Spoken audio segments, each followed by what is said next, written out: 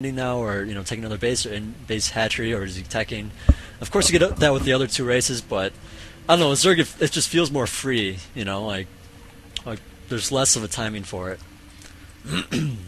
so, anyways, all that good stuff going on. Lots of drones popping out here. Uh, supply depot going up at the top of that ramp. Um, like I was saying, you cannot put a barracks and a supply depot here to complete the wall off to your ramp, which makes it so Zerglings cannot get up your ramp. To see what's above it, you can see approximately this much uh, once you get to uh, this position here. So, I mean, it does kind of give you a little bit more that you can see, and it also means that, well, you're not going to have a bunch of Marines standing here. So, that's going to help out a little bit. Anyways, it looks like this SCV now going into the cross position. Going to see nothing at all and meanwhile, Zerg is plopping down that hatchery, so I believe it was a hatch first. Yeah, no spawning pool, sp spawning pool to speak of. And so I believe he's going to be getting that, well, it looks like on 15. I don't. Um, you can get the spawning pool on 16, then it lines up nicely so you get the two queens, but I do think it actually hurts your economy. You know, you do get the two queens out at the same time, so it lines up nicely, but at the same time, it's like, okay, you know you don't have that extra queen for extra larva you know that much sooner, which does hurt your economy in the long run. Uh, excuse me, my voice is I don't know. I feel like there's something in my voice and I can't cough it out. So, anyways, SCV now just doing a little dance across the creep there on the dance floor. Terran adding on a factory, factory reactor. So, um, yep, there's that refinery going uh, Hellions, Blue Flame. Well, not Blue Flame yet. He's getting that reactor instead of a tech lab. Um, but you can get a starport soon after, and you can do a nice timing where you send a, a Banshee to your Zerg opponent's base and then send the Hellions in. Actually, the Hellions are first, and then the Banshee. Uh, looks like he's throwing down that bunker now. Of course, that bunker is not really a threat because there are no Marines on the way. And there's really not ever going to be. So that's really just to make it so drones get pulled off. But looks like Jake Bake is not going to bite. He knows better. Um, apparently that bunker is maybe going to get finished. I don't know. looks like two Zerglings have come out now. So um, I don't know. I, I, really hate that. You gotta like manually tell your guys to go around. And then it just doesn't work out very well. So, anyways, there's that cancel on that. Um, now, the thing is, with that bunker, you get 75% back now instead of 100%, which to me is much more reasonable uh, for the Zerg, just because you know being able to do that for absolute no cost is absolutely absurd. So I'm glad, uh, very glad that Blizzard fixed that finally. You know, after having StarCraft out for so long and having it there. Uh, anyways, looks like this uh, Zergling, not Marine, can be roasted by that Hellion Now going to move on to the Zerg's base. Now, of course, on this map, since Shakuras Plateau does have a shorter ramp, there's not much area around the natural here. It's a little bit easier to defend. Looks like he's going to right past that Spine Crawler. Nope, that Queen is going to block both of them. Very good play by Jake Big. Killing off both those guys for free. They picked off one measly Zergling. That was it. That's worth, what, not even one larva? That's one half larva. You know, if you can believe that. That, uh, you know, larva is pretty, pretty expensive. You know, you only get so many. But, uh, you know the the 25 minerals, whatever. That doesn't even, that doesn't even matter, right? So, anyways, looks like Jake Bake scouting the fronts here. Gonna see pretty much nothing. That's just no units here for Faith. Faith just pretty much doing anything he wants. He's taking up right now. He's getting up that command center. I just feel like that there should be some kind of opening here for Zerg. You know, like like with Toss, like against Protoss, there would be a huge opening here. If Protoss decided to go fast Colossus and he put down a Nexus this early, like you know, like that Protoss would be dead. Zerg would just go in there and kill him. You know, like could build up a whole bunch of roaches. But I mean, there's just I feel like there's a lot that Terran can do just because that he has this wall off here, complete wall off. He doesn't even have to lift his barracks and whatnot. You know, he could build up a bunch of Zerglings right now, but of course the Hellions are out, and the Hellions do so much damage against the Zerglings. And of course it could get roaches, but I mean, I don't know. There's just a, a lot of stuff that could happen that would screw you over as Zerg. So I mean, it is kind of a very risky play to do that, more so than against Protoss. So, anyways, that command center is finished now. I do wonder if he's going to be lifting it up. Probably not yet. Probably just producing SCVs out of it since he does not have any units to defend it with. The whoa, he's actually going to go for it. Um, now, this to me is a little bit ballsy, but of course he can lift off at any given time, and Zerg can't do anything about it. So, um, again, it's pretty much like he gets a free expansion. If he gets attacked, it's just runs away. You know, it's like okay, I don't know. I just, I just have like I'm not trying to say Zerg's uh, or Terran's in balance. I'm try, just trying to say that they have a lot of little things like that that are um, really annoying to Zerg players that they can just get away with. And it looks like that Zergling gonna run all the way in there. It looks like wow, he he ran past everything. There is one Marine in the back there, in case there is apparently something. Uh, however, there is a Banshee on the way. Now, where is is there an Evo chamber? Okay, Baneling Nest and an Observer. So Jake Bake trying to get away with the bare minimum here so he can spend the rest of his money on that Spire, uh, which is going to be coming out soon. Now, he does have that Banshee to deal with, but of course, um, he really just needs one more Queen up here, and, you know, with that good creep spread, he's not going to have any problem whatsoever. And it looks like Faith here, in a little bit of trouble, you know, he spent quite a bit of money getting that Banshee out, quite a bit of money getting those Hellions out, and pretty much both were thwarted very easily, and this Banshee now at 5 life, and unlike Protoss, you know, you don't get that life back. You don't get any shields. You know, it's not like Zerg where it slowly goes up even. And that Banshee is completely, well, it needs to be repaired anyway. You know, it gets repaired, he's fine. so, anyways, look let's look at the unit count tab. 41 SCVs to 51 drones. Jake Bake doing an awesome job, just getting up a lot of drones, and you know, get getting away with the bare minimum. You know, he just did not get any extra queens. Or I guess he got an extra queen for the creep, but um, Actually, one, two, three, four. Okay, he does have some extra queens, but uh, anyways, he only needed a couple for that Banshee, and he had that Overseer forward as well. You know, he had that spine crawler and the Queen. Just one spine Spinecrawler and one Queen, queen against two uh, Hellions. You know, that's pretty good as well. So I mean, for Faith, it's actually not so much that he has to do damage with it. It's more so that with those Hellions running around, um, potentially harassing the Zerg player, he's able to get up this expansion fairly easily, and that's pretty much what we saw this game. Uh, no blue flame yet. Um, upgrades, upgrades, no upgrades. Apparently there was a... Where was he? Where was he? Oh, I don't know. Well, there was a changeling somewhere that was killed off.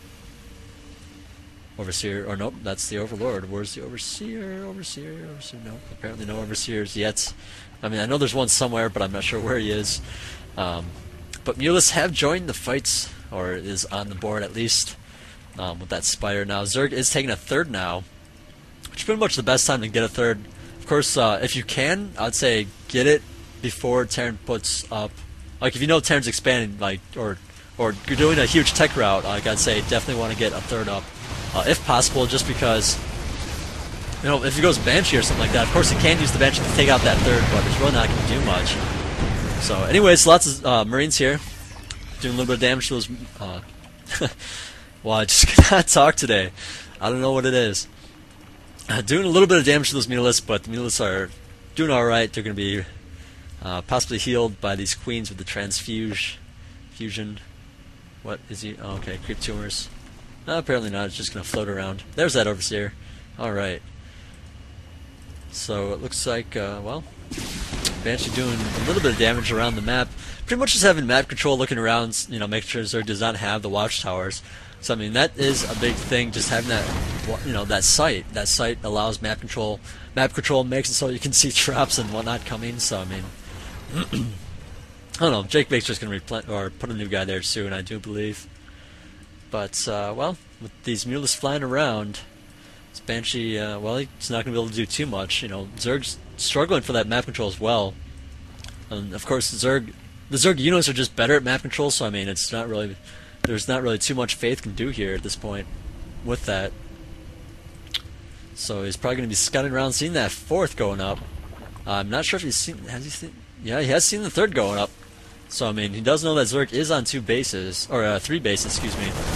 Uh, meanwhile, it looks like Mila's trying to get in here, doing a little bit of damage, but looks like Faith here doing somewhat of an all-in here. He does have a lot of SCVs. Nope, he's actually setting up expansion, my bad. I thought he was going to go right over there, but uh, I did not see that command center float over there. So he's uh, pretty much just setting up that um, or, or uh, planetary fortress, not orbital command, setting up some tanks and stuff in the middle here. Now, of course, you don't want it too close to your third and not too close to your natural. You want it right in the middle, uh, just in case there is an attack at third. Then you move your marines up there, and the tanks are, you know, they they're at a good position either way. You know, it's going to be hard for Zerg to get in, up to the natural. So, Uh, he's going to be sitting pretty good. Anyways, lots of missile turrets going up for Faith pretty much everywhere. Let's make sure the mutalisks do not really do much. Now, of course, um, if you know if Jake Bake goes a lot of mutas, and he does have quite a few, you can take out quite a few miss missile turrets. But I mean, Faith here, you know, he's going to be able to push his Marines back into his base by the time those missile turrets go down. Um, it's just a good idea to have a few extra missile turrets the further out you are from your base, so that you have more time to get back. Um, and do, you know when you need to, you know, it just pretty much denies the mutalisk some damage, um, you know, for a certain amount of time.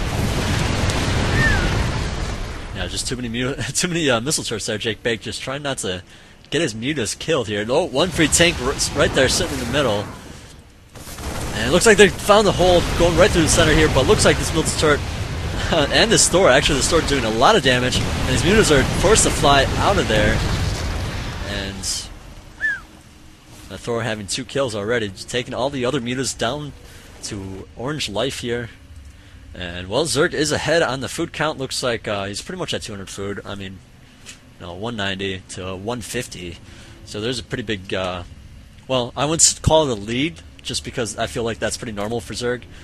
Just having a lot of extra food because, uh, well, a lot of things cost a lot of food. So, anyways, here's a pretty good engagement here. Lots of tanks just going straight for those banelings. Doing a good job of just keeping up with that. However, there's just a lot of Thors and whatnot up here, and actually some pretty good micro as well. Uh, making sure those banelings do not pop on the Thors, just going right for the Marines and whatnot. However, it does look like this attack is completely being cleaned up by Faith. And Jake Bake here is in quite a bit of trouble here, but at the same time, he can replenish all of his stuff anyway, so I mean, there's really not too much um, of a problem there. But Jake Bake, or I mean, Faith here does have a little bit of a window of opportunity here. Uh, but it looks like Jake Bake just scattering his guys everywhere, making sure that that attack does not succeed. And, well, Faith here just going too much in there. Um, you know, I don't know. I, I, guess he just really did not have enough guys, or enough leftover guys after the big battle to really have a counterattack. You know, if he did a drop or something like that afterwards, that would be fine to me. But uh, Jake Bake just doing an awesome job keeping up with that unit production and just cranking out Zerglings and Banelings and everything. Uh, plenty of mutas as well too. So that those extra bases doing their work for them. Looks like 80 drones to 68 SCVs. So Jake Bake here just having some really good drone production. Um, of course, there's a, a, limit. I don't know if he really wants much more than 80. Uh, looks like 80 is the perfect stopping amount. Um, now there's actually a little bit of a trick that I forget who. Well, excuse me. One second. There's a big battle here, and it looks like everything. Well, looks like actually Terran is kind of behind after this. You know, let's store and these Marines. I don't know. It's Terran. I feel just cannot produce enough at this point. You know, Zerg. I, I often see Zerg overrun Terran in the late game.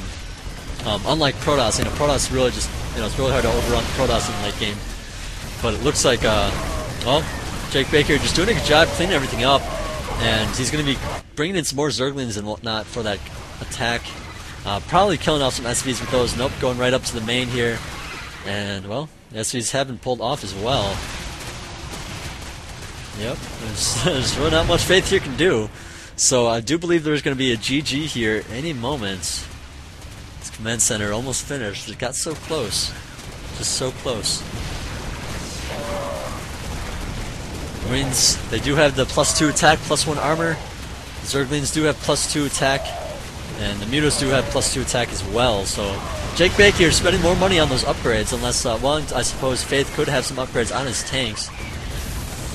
Uh, yep, one attack on his mech units. And, well, like I said, there's really not much you can do at this point. Uh-huh. There goes that tank. Lots of guys just being demolished here. The base is just gonna be destroyed. Everything, everything's gone. Everything's dead. Yep.